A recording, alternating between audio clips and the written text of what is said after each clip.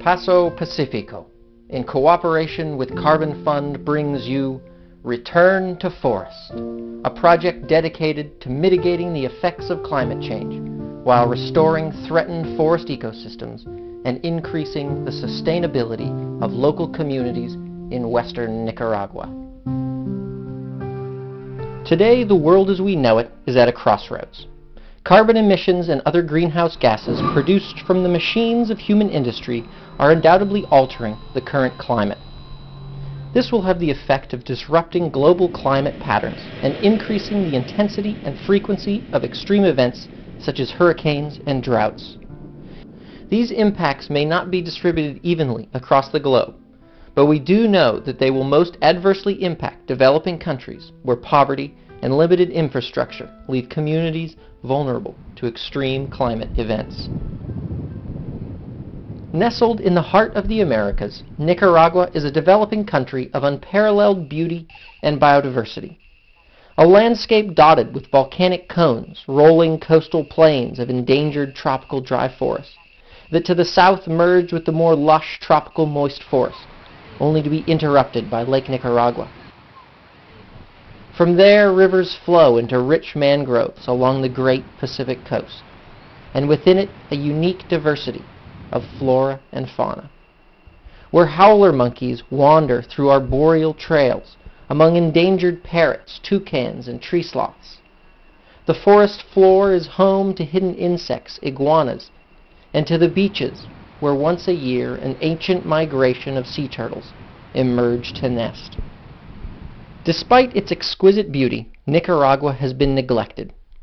Torn by civil strife, pervasive poverty, and an expanding agricultural frontier, which has left its forests fragmented and the people and wildlife exposed to the extremes of climate change, where during large storms rivers overflow with debris and threaten simple homes, while during droughts farmers often must walk for miles to find water. In western Nicaragua, where over 70% of the people reside, extreme deforestation and overgrazing has left many rivers dry and soils eroded. Threatened species and ecosystems with limited or fragmented distribution are also disproportionately impacted by climate change. Finally, tourism is rapidly developing. And while this may provide a great economic opportunity, if not properly planned and implemented, it may pose a great environmental threat by putting increased demands on both water and energy resources. Paso Pacifico is an organization dedicated to restoring the unique Pacific slope ecosystems of Central America. Currently, Paso Pacifico is focused on developing the Paso del Istmo Conservation Corridor in the southwestern province of Rivas. In early 2007, Paso Pacifico joined forces with the organization carbonfund.org to address the global need to reduce greenhouse gas emissions.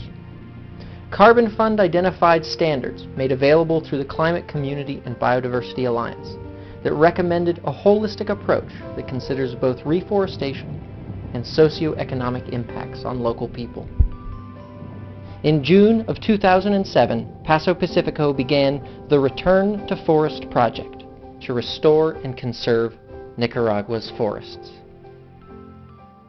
Soy Lisa González, eh, soy directora nacional de Paso Pacífico y lo más interesante de esta organización es que en realidad se ha acercado mucho al sector privado y estamos eh, con, con, el reto de poder acercarnos a ellos mucho más y de tal manera que ellos puedan desarrollarse, pero también puedan eh, ser este desarrollo amigable con la naturaleza.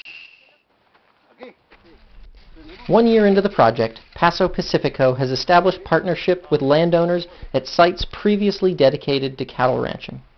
Legal contracts were made between Paso Pacifico and landowners, with land titles changed to reflect the conservation and reforestation objectives. Tree nurseries were established at private farms and in association with community groups. Using native seeds harvested from nearby areas, local people provided the labor force, helping to harvest, plant, and aid in the growth of the over 30 native tree species which were planted. We also selected the trees with the help of Paso Pacifico because we wanted to ensure that the trees we planted helped rebound the animals as quickly as possible. So we specifically selected fruiting and flowering trees, uh, which provide most of what we wanted. Once ready, trees were moved from nurseries to planting areas with the help of 10 landowners and over 50 local workers. More than 200,000 trees were planted. Now that the trees are in the ground, Paso Pacifico actively manages them and the natural regeneration occurring as birds and wildlife increase dispersal into these newly protected areas. As part of the Climate Community and Biodiversity Standards, Paso Pacifico conducts studies on the socioeconomic status of local communities, on forest biomass, carbon storage, and biodiversity conditions near the reforestation sites. Una maravilla, que esto en cinco años va a ser increíble y en diez va a ser eh, alucinante, creo yo. Pues va a volver a lo que yo vi cuando era chiquito, si Dios quiere. Pues. Throughout the lifetime of the Return to Forest project, conservative projections indicate that 170,000 tons of global greenhouse gas will be offset, equivalent to removing 30,000 cars from the road for one year, or 4.25% of Nicaragua's total annual emissions. The trees that are planted will not only store carbon, but will also cool a hot and dusty landscape. La reforestación Sí, a quién no le gustaría vivir, este, ¿verdad?, en lo fresco. Sí, porque si hay palo, está fresco, pero si no hay palo, hay un calor bárbaro. The benefits of reforestation within the project area have been fully embraced by local communities, excited by the benefits of returning wildlife and the tourism jobs that it will bring. Después del ganado, entonces ahora quieren meterse al turismo. Así es que eso es lo que queremos nosotros. Uh -huh. Mira qué bonito es estar estar uno pensando en eso, porque ya, ya tengo mi casa ya, ahí tengo palos frutales, ahí, ahí he dejado yo llegar esos monos Congo. The private reserve established through the Return to Forest project will become part of a wave of sustainable tourism development that will take place in the Paso del Istmo Conservation Corridor and will benefit both landowners and local community members. I never thought I would own 450 acres of reserve, let alone be able to plant it. I never thought I would be able to plant 75 trees, let alone 75,000. Más comunidades y vecinos se están beneficiando, ya unos con un salario y otros con lo que es la eh, preparación. As landowners and local community members learn about the benefits of reforesting, they are motivated to do more. Animo a, a sembrar árbol yo a mi, a mi parcela para que haya más este, protección del, del suelo, de la tierra. Along this narrow isthmus of Central America's Pacific coast, the crossroads of climate change have been met. Forests are being planted that will help reduce global greenhouse gases and aid the recovery of an endangered ecosystem.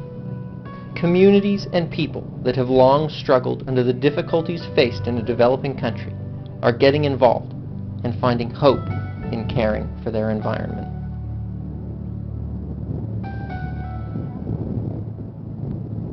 Es que sigan estos ejemplos porque este es muy bueno, porque este es el futuro de Nicaragua y los nicaragüenses.